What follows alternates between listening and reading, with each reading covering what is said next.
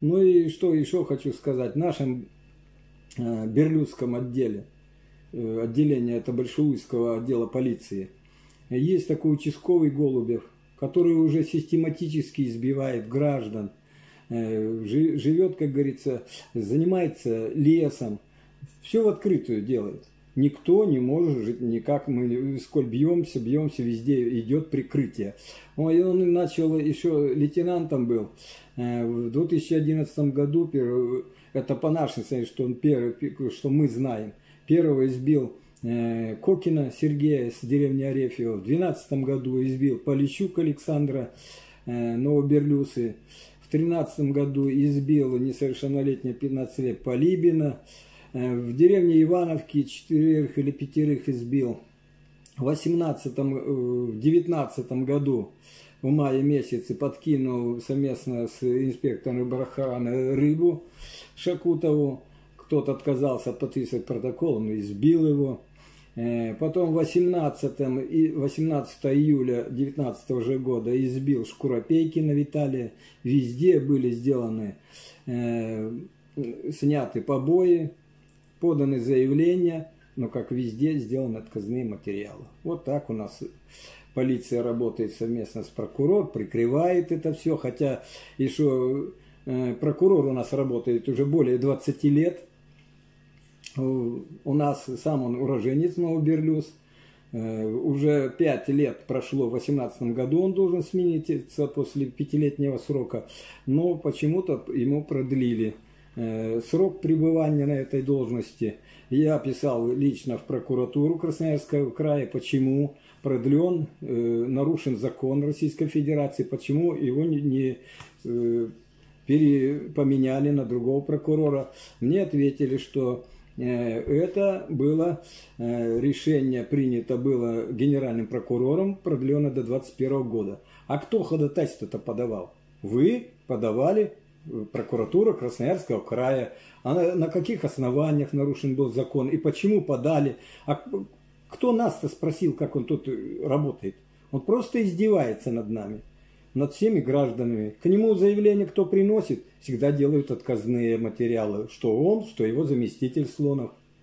Если начинаешь на полицию кто-то жалобы писать, вот как мы начали жаловаться, начали дела фабриковать, какие-то выдумывать всякие, прокурор сидит, молчит, потому что все прикрывается. Следственный комитет тоже как бы вместе работают по всем преступлениям, поданные, которые заявления были, везде сделаны были отказные материалы. Следователь Попов такой, э, в Следственном комитете еще один следователь, и они всегда делают отказные материалы, что связано с полицией, где какие-то преступления. Вот еще преступление. Я заявление писал 19 э, июля 2019 года о причастности этого же участкового голубя незаконной вырубки леса, сосновый бор целый выпилил. У него в наличии есть Урал-лесовоз, трактор гусеничный, Белорус, погрузчик, все есть. Сейчас, правда, он на всех знакомых отписал, чтобы на нем ничего не было. Но он же пользуется этим, мы деревня, мы же все видим и знаем. Ну и, и что? И расследование, как бы, уголовное дело возбудили – Расследование почему-то ни Следственный комитет, ни кто другой, а расследование проводят своим отделом. А как можно своим отделом расследование проводить, если было указано, что это э, дело участковый их? Э, у этого участкового жена работает в этом же отделе следователем. И второй следователь Веряскина, который начинала вот это э, дело проводить, расследование, доследственную проверку по этому уголовному делу, по вырубке, э, я как был заявителем, потом они переквалифицировали меня в свидетеля, никто меня даже не опросил. Не, опроси, не был ни один опрошен свидетель, которых я указывал, которые могут пояснить о причастности Голубева. Но мне было, э, пришел э, уведомление, что он не причастен, ну, типа отказного материала, что Голубев не причастен к этой вырубке. Я пошел, ехал начальнику Большевского отдела Брилеву, подал заявление о замене следователя. Поменяли следователя другого. Она меня опросила, других опросила. Но следователь уволилась, дело было приостановлено.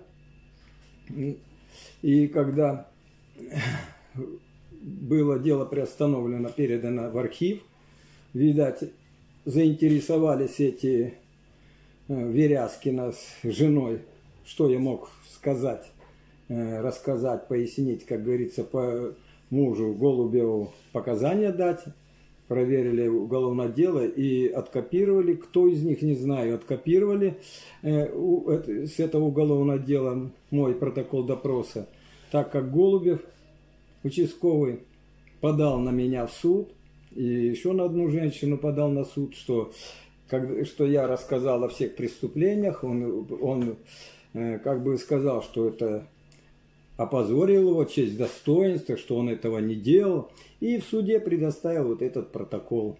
Как можно с уголовного дела по сравнению человеку, если он же говорит, он не причастен к этой незаконной вырубке. А как ему протокол дали? И вот так, что, что захочет, то и делает. Хочу сказать, что вот все уголовное дело это по лесу расследовалось. Везде, везде идет давление на свидетелей. Э, никто не хочет связаться, как говорится, с полицией. Э, и дают показания, что они ничего не видели, ничего не знают. Также я столкнулся с Трифоном, что он, э, когда приезжал, как он говорил, парень, опрашивал его, он все рассказал но потом его предупредили, что у тебя что, проблем мало, что если, э, как говорится, дашь эти показания следователю под протокол, э, Голубев тебе житья, как говорится, не даст. И он сказал, я с ним после встречался, я сказал, что я ничего не видел, ничего не знаю, хотя он через дорогу живет э, от этого голубя, он все видел, все знал. Но такие вот показания, и сосед его другие показания изменил. Все меняется, все под давлением вот это происходит. Э, и сейчас э, вот у нас есть видео, ну, посмотрите видео его техники в Деляне. Там трактор белорусов с погрузочным э, это, навесным. И гусеничный его это. И находится это в Деляне, когда нынче он взяли, взяли они Деляну, взяли или не взяли Деляну, потому как Деляну, когда берут, границы Деляны всегда лесники делают затески это, но э, здесь нет ни затесок, ни границы Деляны, или они их спилили уже, или вообще никто ни, никакую Деляну им не давал. Но пилят эту, эту, эту Деляну, и именно Голубев занимается все, всей этой заготовкой леса. И он не только в семнадцатом году выпилил сосновый бор. В 18 году заготавливал э, вблизи деревни Зачулымка. В 19 весной году заготавливал за деревней Петровка. А вот э, в 19 осенью заехали вот в эту деляну. И все идет безнаказанно, потому что все прикрывается, прокурор прикрывает, начальник лесхоза прикрывает. Ну, начальнику полиции, конечно, невыгодно, чтобы Э, как говорится, его сотрудник был черным лесорубом. Ну и тот прикрывает. Ну и, как говорится, не за красивые же глазки они его прикрывают, что вот он, э, видать, похоже, что он с ними делится. А президент, как сказал вот недавно по телевизору, те, кто прикрывает вот этих черных лесорубов, должны строго быть наказаны. Почему наших, как говорится, эту банду никто не наказывает? Мы обращались в краевую прокуратуру, те все прикрывают, выходит, видать, они что-то имеют от наших, и везде вот так. Просим э, прислать с Москвы или откуда контрольную группу, чтобы проверили все на местах. Всех и пострадавших, всех потерпевших от побоев э, Голубева, свидетелей, все незаконные вырубки проверили леснич, лесничество. Это легко а, будут обнаружены, то, что сколь делян выпилено сколь леса у нас выпилено. Куда ни глянешь, везде, везде идут выпилены. И в, в, в, э, в водоохранной зоне все везде выпиливается.